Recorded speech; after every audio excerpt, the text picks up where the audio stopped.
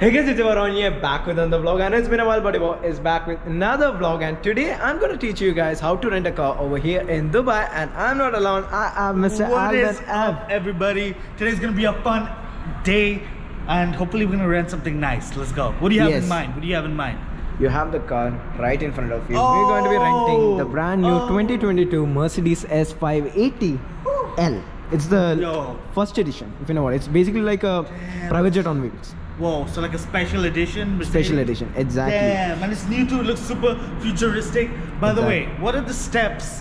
What is what's the first step in renting a luxury car in Dubai? over here in Dubai. The thing is, is that many tourists are coming over here in Dubai and they have zero knowledge They about don't. how to rent a car. and a lot of them A lot of people are getting scammed. Unfortunate, they get scammed they get scammed either with their deposits either with the with a lot of things either with like you know random accident stuff they get scammed right? they do Exactly, i heard i heard about that Exactly. So, So- today I'm going to be teaching you guys how to rent a car over here in Dubai. If you take this car for example, Okay. they're charging around 2,500 dirhams okay for one day. all right And fun fact, you even get a chauffeur with this car. I mean, if you're renting a car like this, we are not supposed to be oh. driving it. you're supposed to be Yeah, sitting to sit at, at the the back, back. okay it's for comfort it's for comfort it's not a car where you're gonna hear the engine but it's just to relax feel like you're you know you don't have to worry about the ride you're in you ride in comfort so yeah i think right exactly.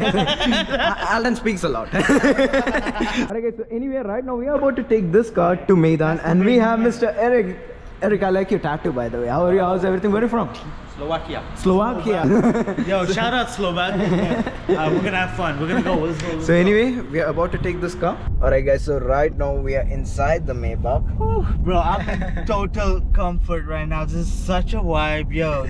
Yo, it's like it's like a house. I feel like I'm in someone's office, low key. I know, right? And Hey. Fun fact, this car is actually pretty powerful. Eric, can you show the power of this car? That's nice.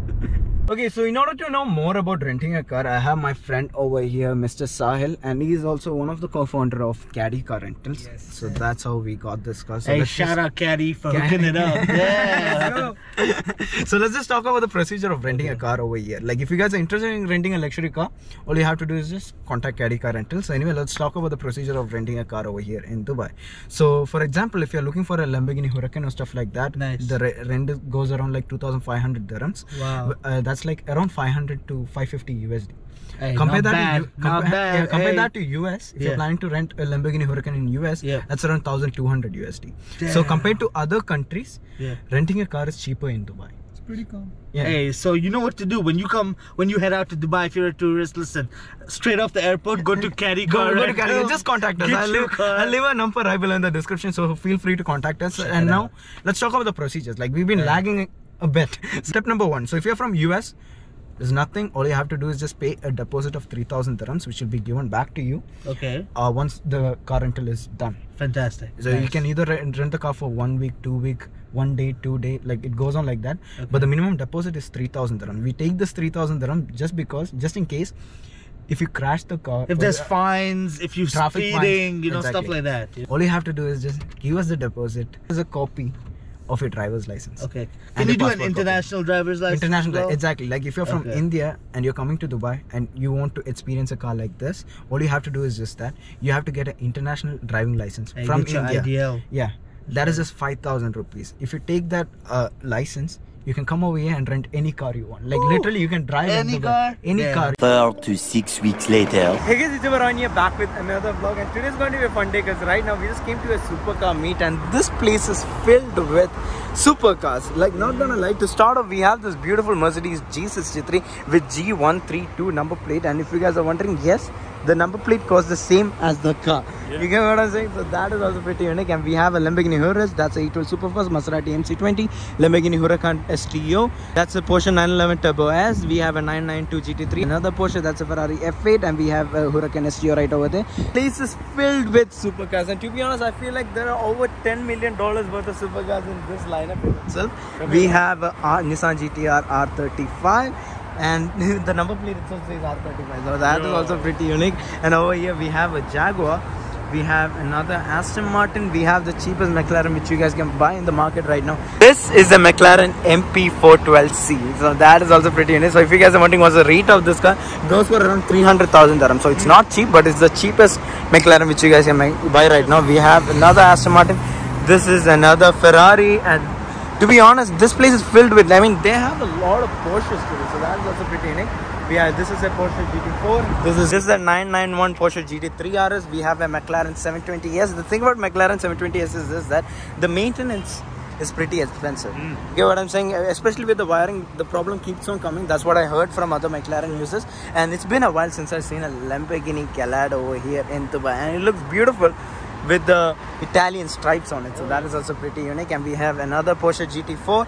This is a Lotus. I have no clue what Lotus is. It. I think it's a Elise, if I'm not mistaken. So let me know in the comments below what Lotus is this.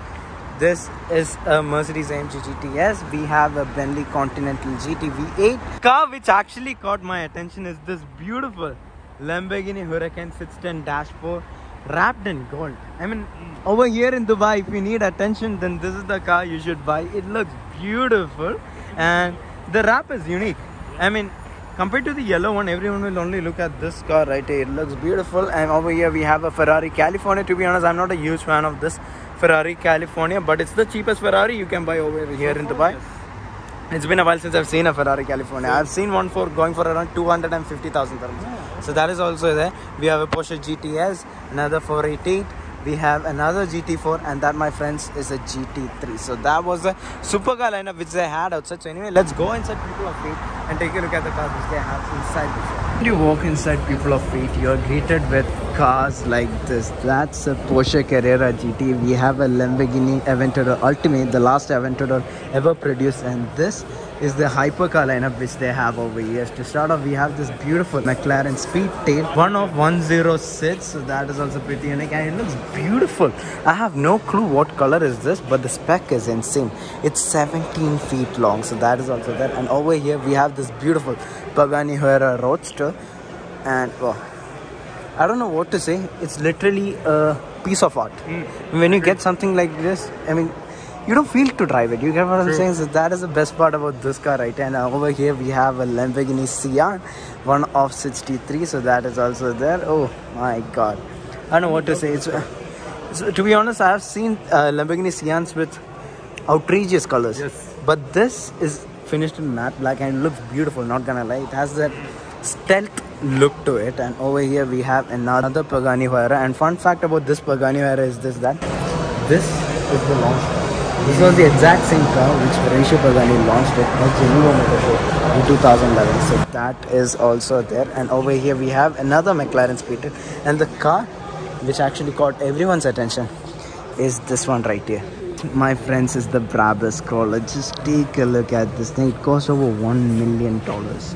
It's basically an off-roading beast. I think it's based off G63 if I'm not hmm. mistaken. But it's insane. It's one million dollars. Think about it. One million dollars for a dune buggy right here. So that is pretty unique. It's pretty